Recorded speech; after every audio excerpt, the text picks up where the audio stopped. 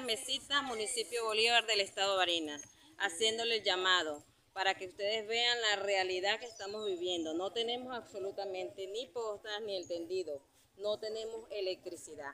Eh, eh, hoy anoche, en la hora de las noches, me manifestó la alcaldesa de nuestro municipio que nos había conseguido dos postas. Estamos en espera de ello para ser instalado el día de hoy, porque ya con el día de hoy, ocho días sin electricidad.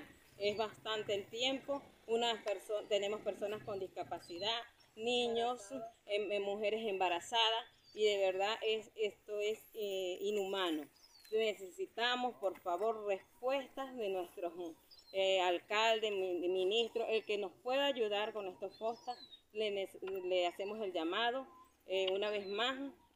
nosotros aquí estamos dispuestos, tenemos el vehículo eh, nos lo puedo eh, para facilitar, para traerlo, para trasladarlo. Aquí estamos dispuestos todos los vecinos en colaborar.